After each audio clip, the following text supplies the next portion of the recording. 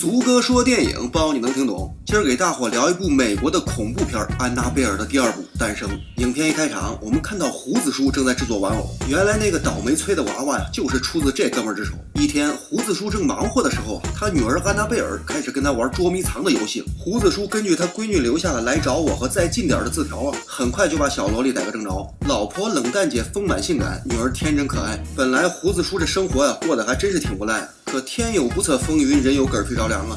胡子叔带着老婆闺女做完礼拜，在回家的路上，一辆大卡车疾驰而过，安娜贝尔不幸就出了车祸。转眼十二年过去了，但胡子叔和老婆冷淡姐呀，仍然无法走出失去女儿的阴影，于是便把自己的家呀改成了孤儿院，收留了六个无家可归的女孩。转场之后，修女带着六个女孩啊，乘车前往胡子叔家。左边这位穿绿裙子、腿脚有点不利索的女孩啊，就是咱的女主珍妮斯；右边穿红裙子的小可爱叫琳达。两个小姑娘虽然没有血缘关系，但却情同姐妹，非常亲密。另外四位女孩啊，属于龙套，在这儿就不详细介绍了。在神父的带领下呀，一行人很快来到了胡子叔的家。几个女孩一进屋就开始到处下血沫，都觉得这里确实是不错呀。胡子叔说：“我和我老婆呀住楼下，你们几个呀住楼上。平时没事啊，不要在上面蹦蹦跳跳的，以免影响我和我老婆睡觉。”修女说：“珍妮斯有小儿麻痹啊，上楼估计不是太容易，能不能让我跟她一起住楼下呀？”胡子叔说：“几年前我帮我老婆啊装了一个这玩意儿，用起来挺方便的，要不要试试看？”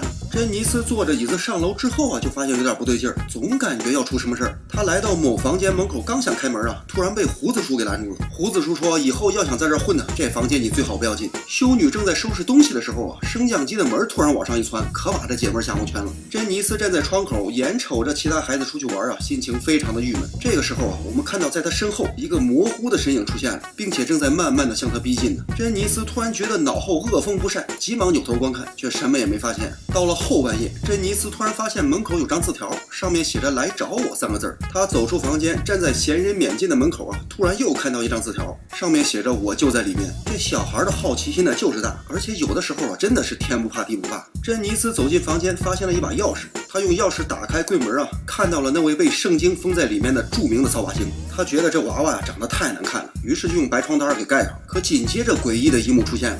珍妮斯吓得是花枝乱颤。转场之后，琳达跟几个女孩玩捉迷藏的时候啊，藏在了楼梯下面的杂物间。当她正扒着窗户往外看的时候，那个诡异的娃娃突然就出现，把琳达吓得心脏病差点犯。到了晚上，大兄妹和大眼妹不睡觉，正在瞎胡闹的时候，魔鬼突然就杀到，把这二位当时就吓尿。胡子叔说：“大半夜在这捣乱，当心领了盒饭。”转场之后，好奇的珍妮斯和琳达再次来到了安娜贝尔的房间。琳达说：“好奇害死猫啊，要是真撞见鬼，那可就糟了。”琳达出去之后啊，屋里的。事情变得是越来越诡异，而且珍妮斯第一次见到了小萝莉。就在她蒙圈的时候啊，安娜贝尔突然摇身一变，就打算让她领盒饭。珍妮斯一看形势不好，撒子就跑了。可就她那腿脚，那能跑得了吗？这魔鬼稍微一发功啊，就把这小丫头片子给搞懵了。这鞋也掉了，人也被摔冒泡了，再也不敢瞎胡闹了。珍妮斯说：“昨晚上不是我自己滚下楼梯的，是有东西把我摔懵逼的。这个家呀，有邪恶的存在，再不走啊，我早晚得歇了菜。”修女说：“上帝可是咱老大呀，你有什么可怕的？”为了验证到底有没有鬼啊，琳达做了一个有趣的实验。这个试验的结果啊，导致小丫头片子算是彻底吃不下饭了。转过天儿，当珍妮斯正在院子里晒太阳补钙的时候，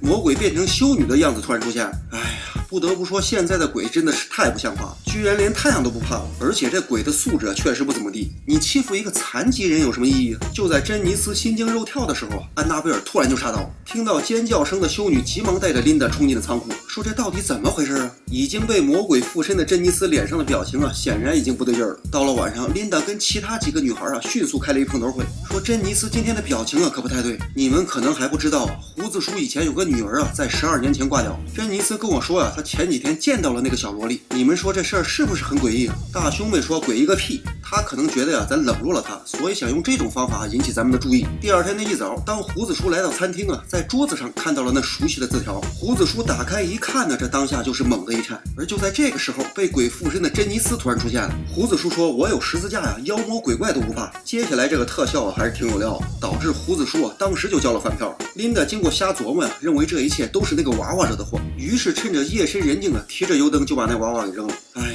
扔就扔吧，还非得伸脖子往里看。幸亏被膀大腰圆的修女给拽住了，不然肯定得领盒饭。琳达回到房间，掀开珍妮斯的被子一看呢，没想到那娃娃又出现了。转场之后，修女拿着娃娃呀来到冷淡姐的房间，说：“这到底什么情况啊？”冷淡姐说：“小孩没娘，说起来话长。自打安娜贝尔死了之后啊，我和胡子叔祈求某种力量啊，能够再见我们的女儿一面。而且这个愿望啊，很快就实现了。我们得知女儿啊想把灵魂寄宿在娃娃的身体里，这样啊，我们就可以永远在一起了。虽然无法和女儿真正的接触，但这对我们呢已经是很大的安慰了。不过随着时间的推移啊，我们觉得这件事儿是越来越不对了。咱说实话，这十字架在鬼片里啊就是个渣。当时那魔。”鬼啊，就把我的眼睛给杵瞎了。以前我可是沉鱼落雁呢，你看看现在，简直是没法看。而且这魔鬼啊，现在就在我们家，我也不知道该怎么办。这孙子呀，本来打算夺走我的灵魂，但胡子叔到教教堂啊，请神父过来帮了忙。后来我们用圣经啊困住了这个扫把星，但最终我们发现呢，这圣经和十字架一个德行，根本没屁用。